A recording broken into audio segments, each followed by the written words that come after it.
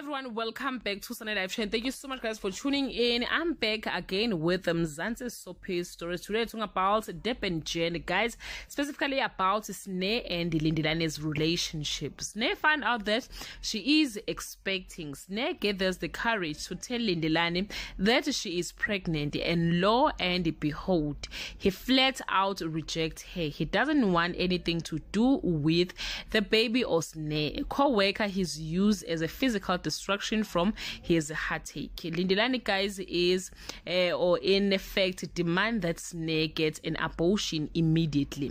Sne is devastated by Lindelani's reaction, but what cuts deeper is when she finds out that he's made amends with Mbali. Sne is at um, a crossroad about her pregnancy. She considers terminating it. On the other side, uh, she wants to keep the baby, but that means that she will be a single mom as Lindelani has already checked out um, of being a present dad. She's confused. Um, either way, the coming months will be rocky for Sne.